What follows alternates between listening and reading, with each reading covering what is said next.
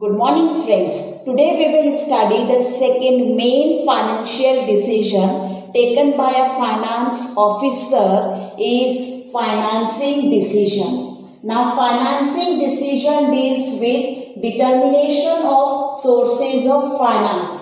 Financial officer का काम है कि वह यह पता लगाए कि उनकी ऑर्गेनाइजेशन में जो फंड्स चाहिए उसके लिए कौन कौन से सोर्सेज अवेलेबल है amount to be raise from each source अब जितने सोर्सेस अवेलेबल है, उसमें से किस सोर्स से कितना अमाउंट बोरो करना है, लेना है, वह डिसाइड करना.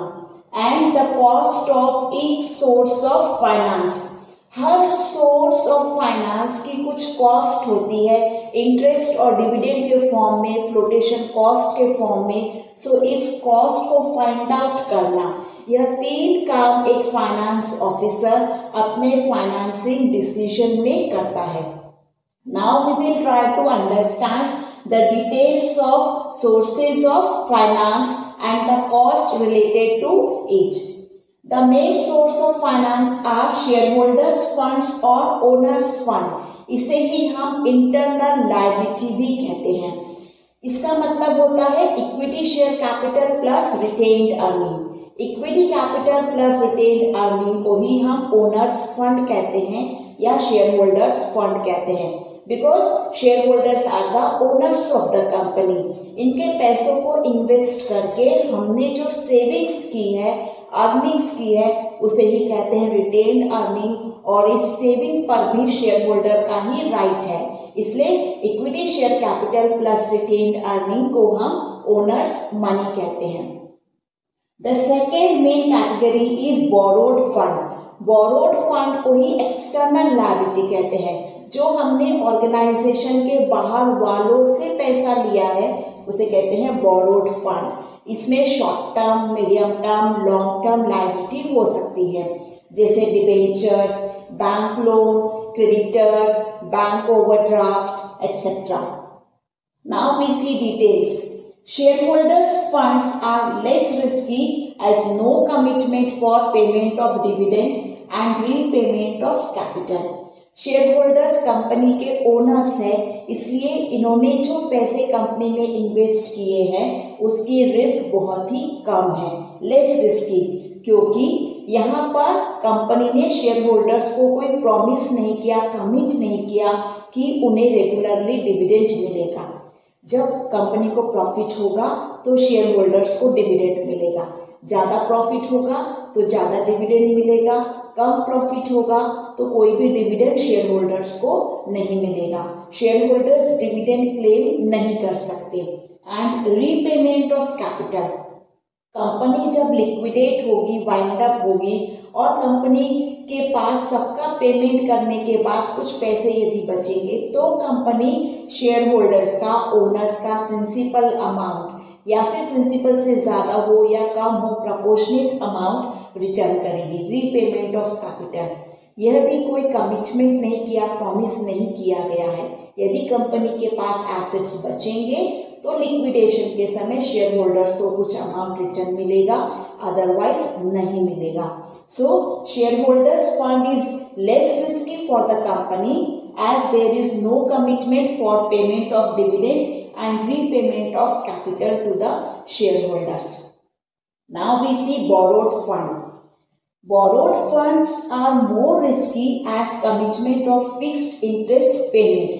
अब debentures bank loan bank overdraft creditors से भी जो भी पैसे हमने बोरो किए हैं इसके लिए कंपनी को इन पीपल को रेगुलरली फिक्स्ड इंटरेस्ट देना ही पड़ेगा यह फिक्स्ड इंटरेस्ट पहले से डिसाइडेड होता है कंपनी को प्रॉफिट हो, चाहे लॉस हो कंपनी को यह इंटरेस्ट रेगुलरली अपने बोरोड फंड पे पेमेंट करना ही पड़ेगा that is the commitment promise and repayment of principal amount यानी कंपनी को जो principal amount debenture bank loan से लिया है, वह रिटर्न करना कंपलसरी है। सो These borrowed funds are more risky for the company as it is compulsory for them to pay regularly the fixed amount of interest and after a specified period, the principal amount will be returned. This is the financial risk. The risk related to this finance source is financial risk and it is very heavy in case of borrowed money. Now borrowed money is the cheapest source of finance. अब यह कैसे possible है कि इतना risky finance cheapest source है? इसके लिए हम एक एग्ज़ाम्पल का यूज़ करेंगे। Now we try to understand the statement borrowed funds are considered the cheapest source of finance as interest paid is a deductible expense for computation of tax liability अब इस statement को अच्छे से समझने के लिए हम इस एग्ज़ाम्पल का यूज़ करते हैं। मान लीजिए आपका प्रॉफिट एंड लॉस अकाउंट है। प्रॉफिट एंड लॉस अकाउंट की स्टार्टिंग हमारी ग्रॉस प्रॉफिट से होती है और यह ग्रॉस प्रॉफिट है हंड्रेड रुपीज़ अब इस ग्रॉस प्रॉफिट में से हम administration expenses selling and distribution expenses minus करते हैं। मान लीजिए वह फिफ्टीन रुपीज़ है।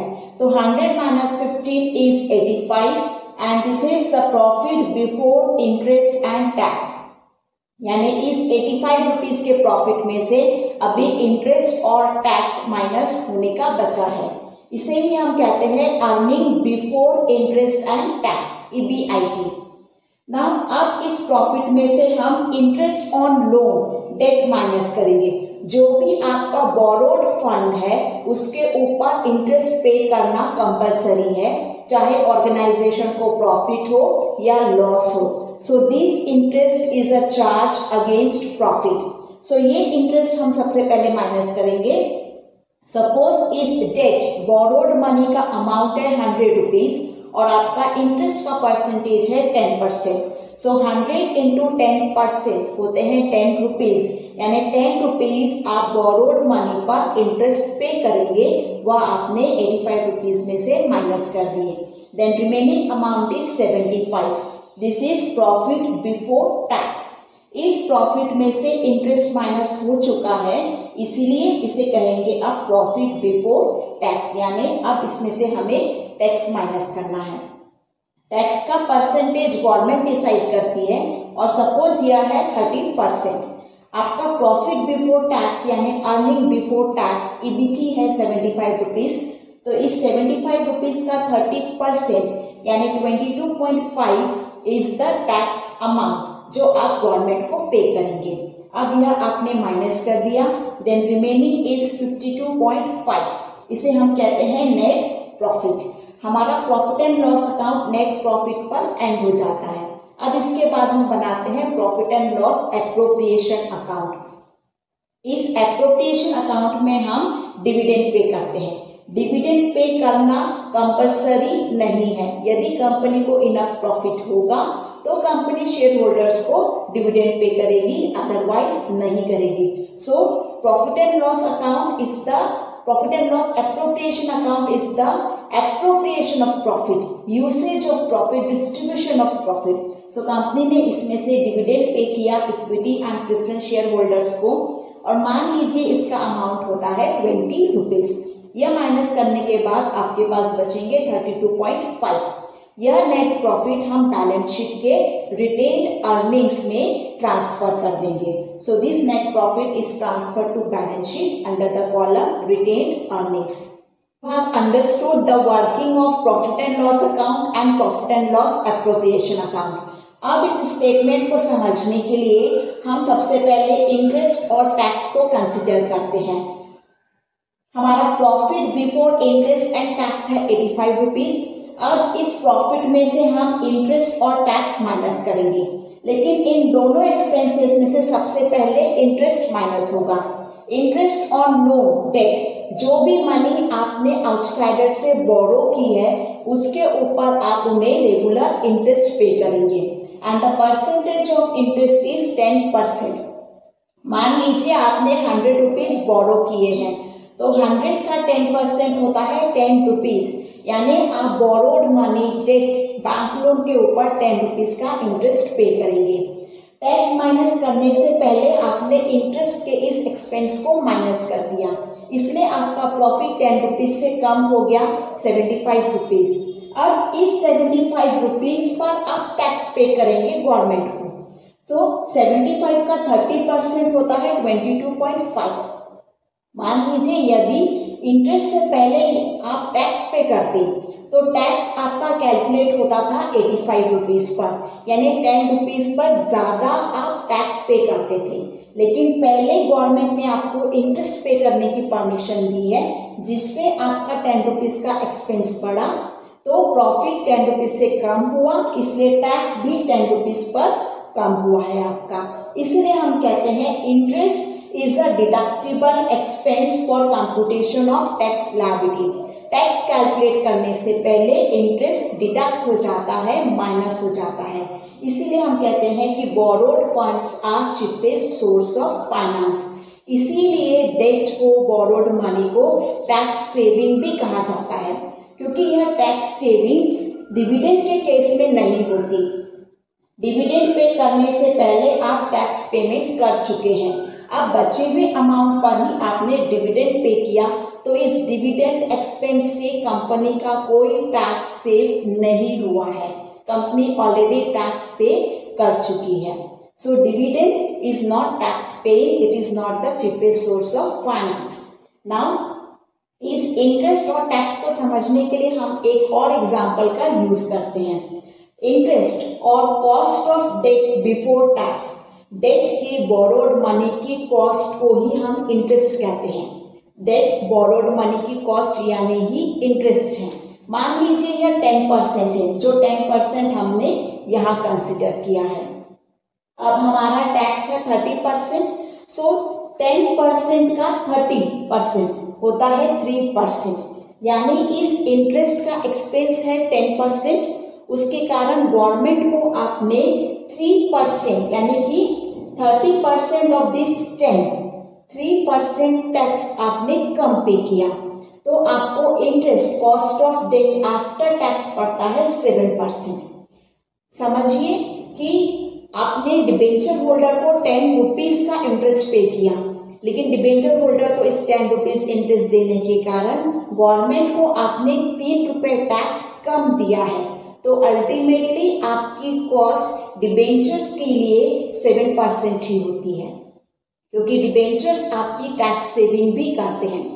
यानी मनी बोरो करने से आपकी कॉस्ट टेन परसेंट नहीं बल्कि सेवन परसेंट ही है क्योंकि इस मनी के कारण आपकी थ्री परसेंट की टैक्स सेविंग भी होती है।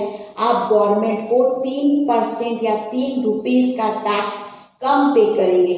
So finally your cost of debt after tax is seven percent only I hope now you have understood that because of this reason, the borrowed funds are considered the cheapest source of finance as interest paid is a deductible expense for computation of tax liability. Now we learn factors affecting financing decision. मतलब हमें जितना total finance लगेगा उसमें से कितना amount date में से लेना चाहिए और कितना इक्विटी इस डिसीज़न को अफेक्ट करने वाले कुछ फैक्टर्स हैं यही फैक्टर्स हमारे कैपिटल स्ट्रक्चर के भी हैं। Capital structure means the proportion of debt and equity in the total finance of the organisation capital structure आप इस चैप्टर में आगे पढ़ेंगे, उसमें भी कुछ फैक्टर्स हैं जो फाइनेंसिंग डिसीज़न और कैपिटल स्ट्रक्चर के लिए सेम है। So this factors are also affecting the capital structure the first factor is cost of debt किसी भी डेट जैसे डिबेंचर्स बैंक लोन की कॉस्ट यानी इंटरेस्ट है। If interest rate is less more debt as compared to equity, capital and vice versa. यदि market में interest on bank loan interest on borrowed money means debt कम है तो हम date से ज़्यादा कैपिटल बोरो कर सकते हैं फाइनेंस ले सकते हैं। एज कंपेयर टू इक्विटी यानी इक्विटी की जगह हम डेट को प्रिफर करेंगे। लेकिन इसकी जगह यदि मार्केट में यह इंटरेस्ट ऑन डेट ज़्यादा है तो फिर हम डेट से फाइनेंस कम लेंगे और इक्विटी से ज़्यादा लेंगे। कोई भी intelligent finance manager cheapest source of finance को ही प्रिफर करेगा। Means cost of debt interest directly affect the amount of debt in the total finance Now, the second is risk consideration. Risk का मतलब होता है risk of inability to meet expenses organisation में कुछ expenses होते हैं जिसके लिए हमेशा हमारे पास कैश अवेलेबल होना चाहिए। जैसे there are two types of risk consideration first is business और ऑपरेटिंग रिस्क बिज़नेस को चलाने के लिए कुछ फिक्स्ड ऑपरेटिंग एक्सपेंसेस होते हैं, जैसे rent salary insurance premium building के ऊपर हमें रेगुलरली रेंट पे करना होता है। अपने परमानेंट एम्प्लॉय को हम सैलरी देते हैं, जो फिक्स्ड होती है। इंश्योरेंस प्रीमियम जैसे बिल्डिंग का इंश्योरेंस होता है स्टॉक का इंश्योरेंस एम्प्लॉयज़ इंश्योरेंस या इंश्योरेंस प्रीमियम रेगुलरली पे करना होता है। So these expenses are fixed in nature and you have to pay these expenses. So these expenses are called fixed operating cost and this is business or operating risk. Now the second type of risk is financial risk that is fixed financial charges जब हम money कहीं से भी finance कहीं से भी लेते हैं तो हमें उसके ऊपर कुछ पे करना होता है। जैसे इंटरेस्ट पेमेंट डेट के ऊपर हमें रेगुलरली इंटरेस्ट पे करना होगा। That is a charge against profit you have to pay it regularly. Preference dividend. Preference share holders का रेट ऑफ़ डिविडेंड फिक्स्ड होता है। यदि कंपनी को प्रॉफिट है तो कंपनी को यह डिविडेंड सबसे पहले पे करना होगा। Then repayment obligation debentures bank loan का अमाउंट आपको रीपे करना होगा। कंपनी लिक्विडेट होगी तो इक्विटी शेयर से पहले प्रेफरेंस कैपिटल रिटर्न होगा और उसके बाद में at the end equity capital return होगा। That is repayment obligation so this is the fixed financial charges this is the risk of the company that you have to make this expenses so this is financial risk अब किसी total risk हमारे business और financial risk को मिलाकर हमारी total risk बनती है। अब यदि किसी कंपनी की बिज़नेस और ऑपरेटिंग रिस्क ही बहुत ज़्यादा है सैलरी रेंट इंश्योरेंस प्रीमियम के एक्सपेंसेस बहुत ज़्यादा है तो उन्हें डेट से फाइनेंस नहीं लेना चाहिए, नहीं तो उनके फिक्स फाइनेंशियल चार्जेस यानी इंटरेस्ट का एक्सपेंस और ज़्यादा इंक्रीज हो जाएगा, उनकी टोटल रिस्क इंक्रीज हो जाएगी। इसका मतलब यदि आपकी ऑपरेटिंग रिस्क ऑलरेडी ज़्यादा है तो आप डेट से फाइनेंस मत लीजिए, इसकी जगह आप इक्विटी कैपिटल इशू कीजिए, ताकि डिविडेंड भी कंपलसरी नहीं है और उसका रीपेमेंट ऑब्लिगेशन भी कंपलसरी नहीं है। इसका ठीक अपोजिट यह होगा कि यदि आपकी बिज़नेस ऑपरेटिंग रिस्क कम है, आपके रेंट सैलरी इंश्योरेंस प्रीमियम के एक्सपेंसेस कम है, तब आप डेट से फाइनेंस ले सकते हैं, क्योंकि आप फिक्स फाइनेंशियल चार्ज इंटरेस्ट पे करने की पोजीशन में The third is flotation cost. Flotation cost means issuing expenses of securities. हम शेयर्स इशू करें या डिबेंचर्स हमें कुछ एक्सपेंसेस पे करने होते हैं जैसे अंडरराइटिंग कमीशन जो हम कंपनी के अंडरराइटर्स को देते हैं ब्रोकरेज जो ब्रोकर को दिया जाता है स्टैम्प ड्यूटी लिस्टिंग एक्सपेंसेस अपनी सिक्योरिटीज स्टॉक एक्सचेंज में लिस्ट करवाने के लिए हमें लिस्टिंग एक्सपेंसेस लगते हैं securities with list flotation cost preferred इसका मतलब हम शेयर्स और डिबेंचर्स दोनों सिक्योरिटीज के फ्लोटेशन कॉस्ट को कंपेयर करेंगे। जिस केस में हमारी यह कॉस्ट कम होगी, उसे हम प्रिफर करेंगे। The fourth is cash flow position cash flow position यानी कि यदि कंपनी के पास इनफ लिक्विडिटी है तो कंपनी डेट फाइनेंस को प्रिफर करेगी।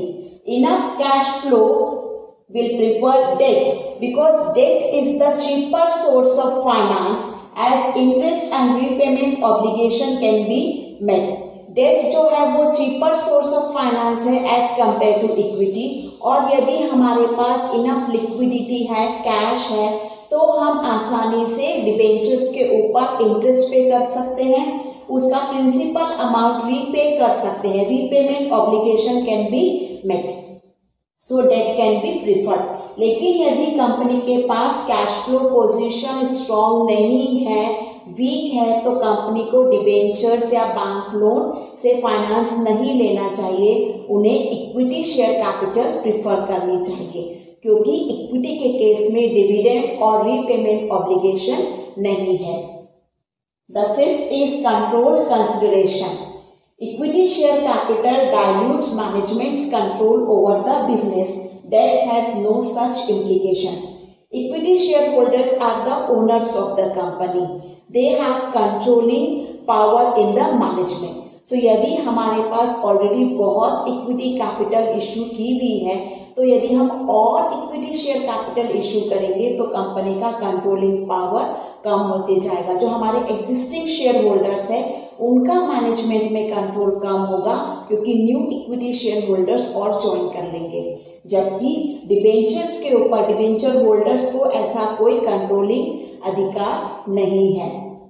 So if equity share holders want complete control over the business that prefer debt and vice versa so यदि हमारे एग्जिस्टिंग इक्विटी शेयर होल्डर्स अपना कंट्रोलिंग पावर रिटेन रखना चाहते हैं सेम रखना चाहते हैं तो हमें डिबेंचर्स इशू करना चाहिए इक्विटी कैपिटल इशू नहीं करना चाहिए। लेकिन यदि हमारे एग्जिस्टिंग इक्विटी शेयर होल्डर्स को कोई प्रॉब्लम नहीं है, वे अपना मैनेजमेंट में कंट्रोल